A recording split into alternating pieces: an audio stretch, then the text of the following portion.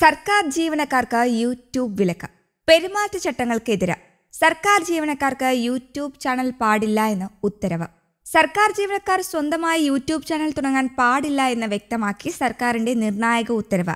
ആളുകൾ channel subscribe ചെയ്യുമ്പോൾ അതിൽ നിന്നും ഉദ്യോഗസ്ഥന് വരുമാനം ഉണ്ടാകും. ഇത് ജീവനക്കാരുടെ പെരുമാറ്റച്ചട്ടത്തിന് എതിരാണ്. യൂട്യൂബ് ചാനൽ തുടങ്ങാനുള്ള അനുമതി തേടി ഒരു അഗ്നിശമന സേനാംഗം നൽകിയ അപേക്ഷ നിരസിച്ചാണ് ആഭ്യന്തര വകുപ്പിന്റെ ഉത്തരവ്. ഇന്റർനെറ്റിലോ സോഷ്യൽ മീഡിയയിലോ ഒരു വീഡിയോ ആയോ ലേഖനമോ പോസ്റ്റ് ചെയ്യുന്നത് വ്യക്തിഗത പ്രവർത്തനമായും ക്രിയാത്മക സ്വാതന്ത്ര്യമായും കണക്കാക്കാമെങ്കിലും യൂട്യൂബിൽ അപ്ലോഡ് ചെയ്യുന്ന വീഡിയോകൾ ഒരു നിശ്ചിത എണ്ണത്തിൽ കൂടുതൽ വ്യക്തികൾ സബ്സ്ക്രൈബ് ചെയ്യുന്ന പക്ഷം വീഡിയോ അപ്ലോഡ് ചെയ്ത ജീവനക്കാർക്ക് സാമ്പത്തിക നേട്ടം ഉണ്ടാകുന്നതാണ്.